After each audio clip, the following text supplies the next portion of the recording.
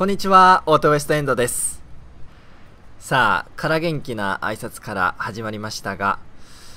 この駐車場の床、X5 を止めていたところに、このような感じで、冷却水の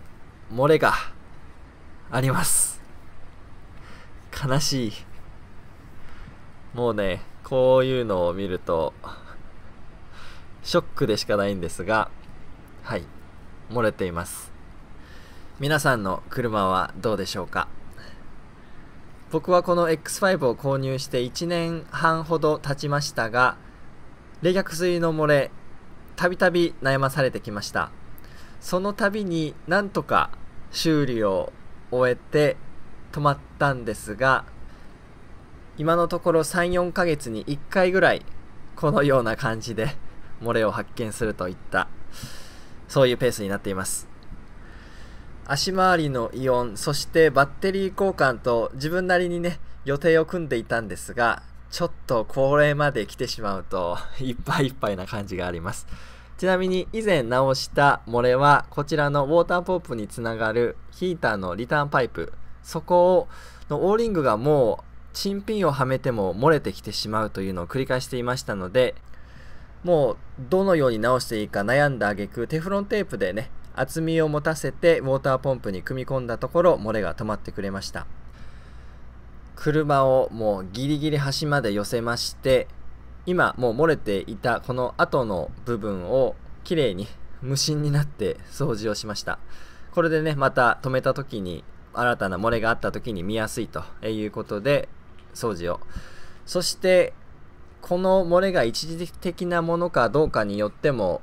深刻さが変わってくると思いますので、数時間このまま放置しまして、今止めている下にまた漏れがあるかどうかを見ていこうということで、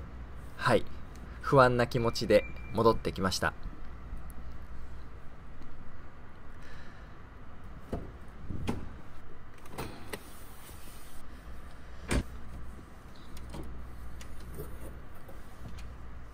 とりあえずこのエンジンルームをいろいろ見る前に下の漏れの感じを覗いてみます。漏れてます。悲しい。なんか今日の動画はドキュメンタリーチックになっていましてもうこの声を入れている段階でももうなんかハラハラドキドキしますがとりあえずどこから漏れているのかというのを見ていきたいと思います。一番底のマットガードはもう濡れまくっております。そして今編集している段階で雫が垂れたのが見えました。今矢印を出します。落ちましたよね。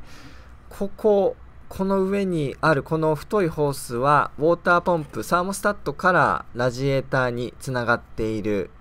もの。ここから伝わっているのかなと。で、この緑色になっているテフロンテープ、これが以前修理をしたところです。ここから漏れているのか、はたまたこのラジエーターの上の部分、これも少し湿っていますよね。なので、まあ、不定期で漏れて乾いて漏れて乾いてしているような雰囲気を出しております。BMW に乗られている方でこのようなラジエーターの上からの漏れ経験があるという方いらっしゃいましたらコメントで教えていただければ嬉しいです。そして撮影している段階で先ほどの雫には気づかなかったんですがこちらの先ほどと同じパイプですね。このパイプの一番ラジエーター側の付け根にあります。これはおそらく温度センサーテンパラチャーセンサーだと思いますがここの付け根の部分がちょっと光って見えました。それには気づきました。ここですね。ちょっとこのクリップの周りが輝いているのが見えるかなと思います。もしかするとこのセンサーの奥にオーリングがあると思いますがそこから漏れているのかもしれません。ちょっと触診をしてみます。このセンサーの付け根のあたりを触っています。ホースの上側の部分ですね。濡れております。なのでこの上には特に何もないので落ちるということも落ちてくるということもないはずなのでこれセンサーから漏れているんでしょうかね。で先ほどウォーターポンプサーモスタットからこの画面上側に伸びているホースそれを伝ってきたとしてもホースの下側が濡れているはずなのでこのセンサーがある付け根の上部分には来ないと思うので、うん、センサーが怪しいっぽい気もします。今映像の方はラジエーターが画面上の方にあるようなそんな位置関係です。この大きな太いホースのラジエーター側の付け根を触ってみますとホースとラジエーターのつなぎ目にあたる人差し指の部分は乾燥しているような感じ。そしてこのセンサーのちょうど真下中指が触れたところが濡れていましたのでやっぱり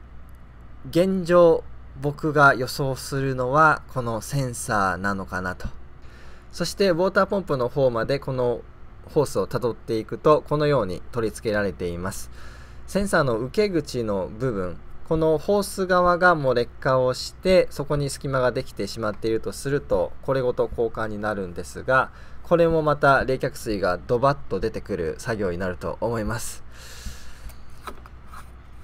ちなみにリザーバータンクを覗いてみたいと思います。圧力がかかっているので外した瞬間はないように見えますが少しだけ水位が